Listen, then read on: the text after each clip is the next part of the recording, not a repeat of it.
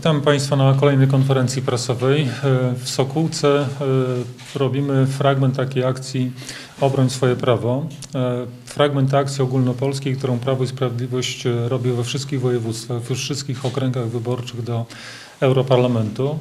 W ramach tej akcji w najbliższych e, kilkunastu dniach, e, łącznie z kandydatami do Parlamentu Europejskiego, działaczami samorządowymi, e, chcemy zachęcać Polaków do tego, aby uczestniczyli w wyborach do Parlamentu Europejskiego. Dotąd te wybory nie cieszyły się zbyt dużą popularnością, frekwencja sięga zaledwie 20-20 kilku procent, a trzeba wyraźnie powiedzieć, że są to wybory, które zdecydują także o, o losie Polski i Polaków, bo ponad połowa prawa stanowionego e, w Polsce to jest odzwierciedlenie odpowiednich przepisów, dyrektyw, rozporządzeń e, unijnych, e, które potem wprowadzamy także do polskiego prawa. Mówimy także o obronie swoich praw, dlatego że e, mówimy o e, konieczności obrony tego, co już udało się w Polsce zrobić, e, czyli tego rozwoju gospodarczego, z którego korzystają nie tylko i wyłącznie wąskie grupy uprzywilejowanych, ale także ci, którzy dotąd przez kilkanaście czy dwadzieścia kilka lat nie korzystali z rozwoju gospodarczego Polski. My wprowadziliśmy przecież potężne programy społeczne. Mówimy także o tym, że te wybory będą bardzo ważne z punktu widzenia ochrony wartości, które są ważne dla większości Polaków. Co prawda prawo unijne mówi generalnie o tym, że Unia Europejska nie ingeruje w sprawy światopoglądowe, ale w ostatnich kilku latach mieliśmy przecież do czynienia z sytuacją, kiedy instytucje unijne e, dawały sobie prawo, czy uzurpowały sobie prawo do tego, aby e, ingerować te sprawy światopoglądowe. Rząd Prawa i Sprawiedliwości wyraźnie mówi, że my chcemy stać na straży tych wartości, które e, legły u podstaw e, Unii Europejskiej, które dziś są ważne także dla większości Polski i Polaków. I mówimy wreszcie o tym, że te wybory w maju za dwa tygodnie są wyborami, które są początkiem całego cyklu wyborczego, który w najbliższych kilkunastu miesiącach zdecyduje o losach Polski na e, wiele lat. E, Bo Przecież za kilka miesięcy mamy wybory do Sejmu i Senatu i wybory do Parlamentu Europejskiego na pewno będą miały także wpływ, jaki będzie wynik tej kampanii jesiennej. Stąd zachęcamy Polaków do tego, aby poszli do urn, oddali głos na listę numer 4, listę Prawa i Sprawiedliwości, bo ta lista e, gwarantuje dalszy rozwój gospodarczy Polski, zachowanie e, rozwoju gospodarczego, e, obronę polskich interesów na terenie i w, w ramach e, Unii Europejskiej i obronę tych wartości, które są ważne dla większości e, Polaków. Bardzo proszę. E, Proszę Państwa, e, 26 maja, w dniu wyborów do Parlamentu Europejskiego, obrońmy swoje prawa. Obrońmy swoje prawo do polskiej waluty. Mówimy nie dla wprowadzenia euro, ponieważ na wymianie pieniędzy zawsze korzysta ten, kto emituje ten pieniądz, a nie ten, który się tym pieniądzem na co dzień posługuje. Wszelkie badania przeprowadzone po przystąpieniu poszczególnych państw do strefy euro pokazały, że e, siła nabywcza pieniądza natychmiast zmalała o 30%. Tyle zabrano ludziom z kieszeni pieniędzy i ich oszczędności, i ich y, wynagrodzeń. E, Proszę Państwa, czy to dobrze, czy to źle, to jest inna kwestia. Natomiast działania Europejskiego Banku Centralnego, banku emitującego euro, są nakierowane na stymulowanie rozwoju największej gospodarki unijnej, czyli gospodarki niemieckiej. Jak w tej sytuacji wyglądają gospodarki peryferyjne strefy euro, widzimy po Grecji, Włoszech, Hiszpanii, Portugalii. To strefa złotówki jest strefą dynamicznego wzrostu. Po drugie, obronił swoje prawo do decydowania o wychowywaniu dzieci, nie dla seksualizacji dzieci i adopcji dzieci przez pary homoseksualne.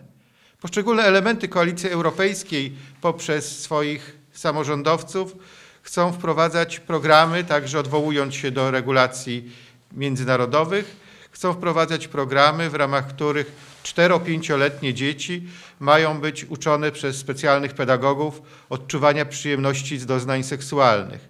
Ręce precz od naszych dzieci. Nie chcemy, aby nasze dzieci były traktowane w ten sposób. Po trzecie, Obrońmy swoje prawo do programów Rodzina 500 plus i 300 plus, czyli Dobry Start, wyprawki dla dzieci idących do szkoły. Obrońmy swoje prawo do 13 emerytury i niskiego wieku emerytalnego. Pamiętamy, że przedstawiciele tych ugrupowań, które są w koalicji europejskiej, występowały przeciwko. Najpierw mówili, że 500 plus to jest program nierealny, nie, nie, ma pieniędzy i nie będzie. Potem, gdy ten program został wprowadzony, krytykowali go.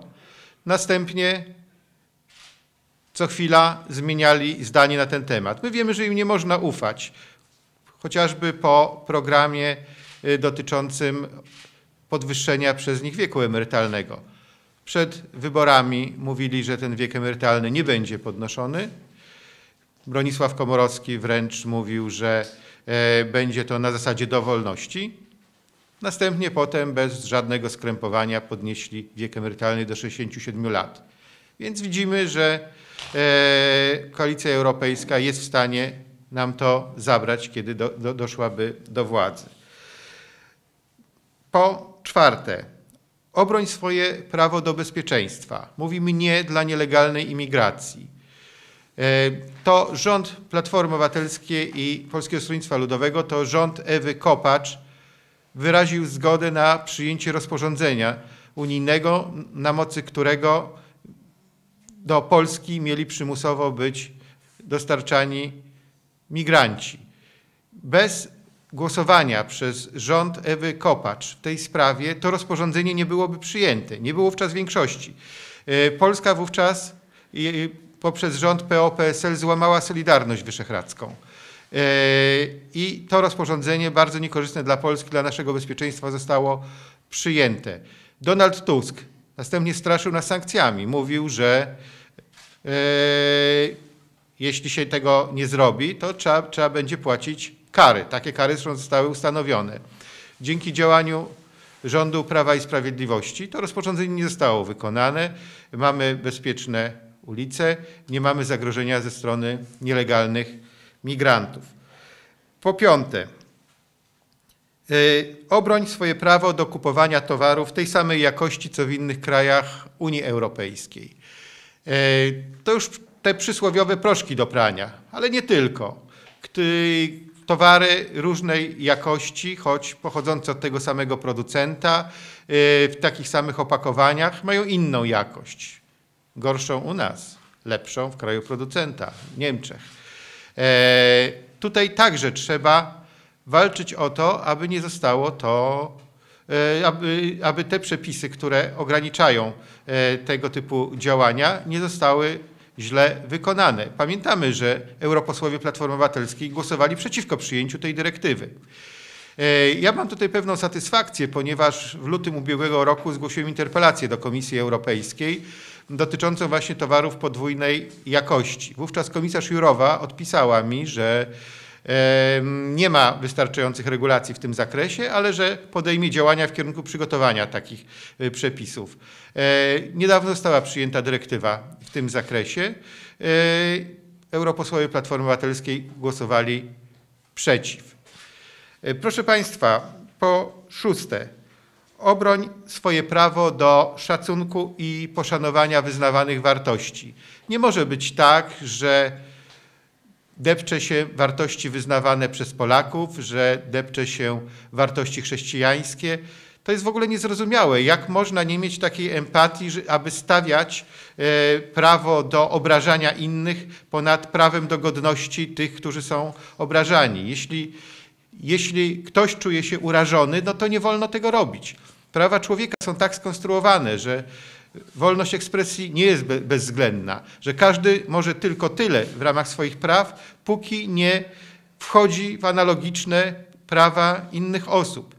Nie może być tak, że chrześcijanie są obrażani, nie może być tak, że podstawowe wartości, które leżą u podstaw cywilizacji europejskiej są deptane. Proszę Państwa, te sześć punktów, tych sześć naszych praw, e, to jest to, czego musimy obronić w wyborach do Parlamentu Europejskiego 26 maja tego roku.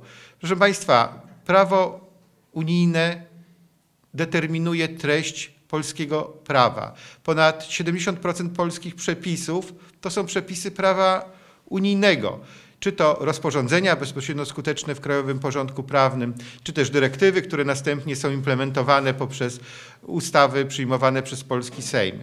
E, Parlament Europejski jest bardzo ważnym miejscem, w którym mamy wpływ na to, jak wygląda życie tutaj. E, W także w województwie podlaskim, w naszym regionie, także w Sokółce, w której w tej chwili się znajdujemy. Prawo unijne to jest to, co reguluje nasze życie na co dzień. Proszę Państwa, Prawo i Sprawiedliwość ma 12-punktowy program wyborczy do Parlamentu Europejskiego. Jest on emanacją tego ogólnego programu wyborczego. Tam jest mowa i o właśnie i o wartościach, e, na których powinna być budowana Unia Europejska. E, Zresztą to jest jakby także powrót do korzeni Unii Europejskiej. Gdy powstawały wspólnoty europejskie w latach 50. XX wieku, to ojcowie założyciele właśnie ukształtowali Unię Europejską na, w oparciu o wartości chrześcijańskie. Te 12 gwiazd na niebieskim tle to są gwiazdy maryjne. Niektórzy wręcz ojcowie założyciele są kandydatami na ołtarze, jak Robert Schuman. E, Oni się przewracają w grobie, patrząc na to, co się dzieje obecnie. E, Proszę Państwa, także w naszym programie mówimy o konieczności e, przeznaczania znaczących środków na rozwój infrastruktury, utrzymanie Funduszu Spójności. Takie województwa jak nasze, jak województwo podlaskie właśnie, na tym korzystają, kiedy takie przepisy są stanowione.